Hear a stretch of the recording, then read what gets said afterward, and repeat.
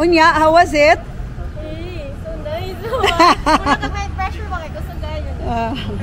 Uhoy!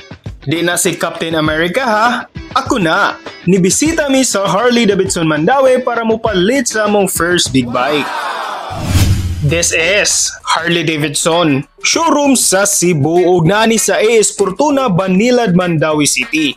Uban na sa day ni si Sky kay luoy pod ni if ibilin. Ako yung bagong kasal.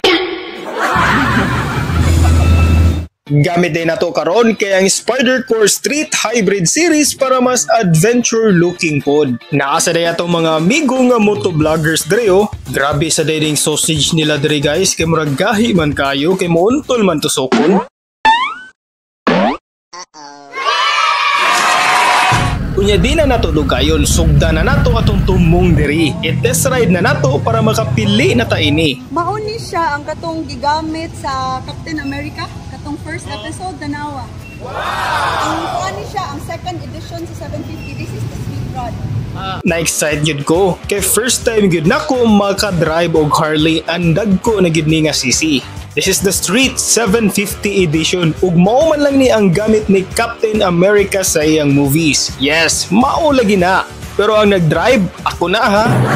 Bisig maglibog mo. Medyo kiwaw pa gani gamay guys kay tiplahon sa nato ang balansi ini. Kay perte ra yung bugata ani mga motora unya kay milyones ra ba kayo ni. Naalan jud distinct kaning Harley bikes guys. Kani yung tingog sa ilang tambutso ug ang mga timeless looks gid ani ilang mga motor. Makalingi gyud ka ug maka-heart-heart gyud sa mata. Fighter pod kini si Badams dyan. Kay mutira gyud og big bikes.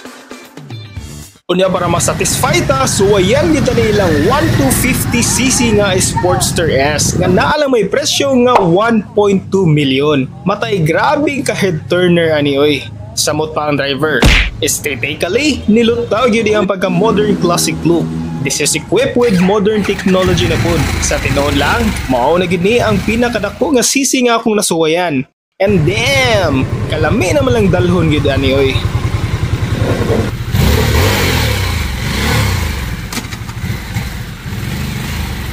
Nya paghuman, naglibog na jud ko ba kung unsa jud ko haon ako. Sana all.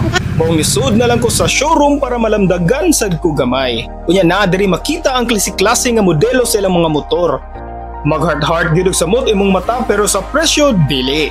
Unya ni sugat gyudayon akong pinakaganahan nga adventure touring bike nila. This is the Pan America nga nahibong dayon ko sa presyo kay tag 400k ra. Pero ang accessories raman day ito. Tag 2 million man day ning motora. All in one lagi ni diri for Harley owners. Kay naa na ang mga accessories and gears nga kinahanglan nimo. Sama aning mga signature Harley boots nga tag 15,000 ra ang presyo. Naay helmets, gloves, ug jackets. Ug nasa diri ang legendary nga hag vest. Gisukod na ni nako daan manifesting the Harley experience ba? After ani kay ni kao na lang sa ako kay para makuhaan akong pag-overthink ba kung pila jud ka unit akong kuhaon. Kanya naminaw na lang pug ko sa ilang gathering ug nakaingon jud ko nga grabe ka solid nilang grupo sa Hug Cebu. Nya dire na lang ni kutob. Bye-bye.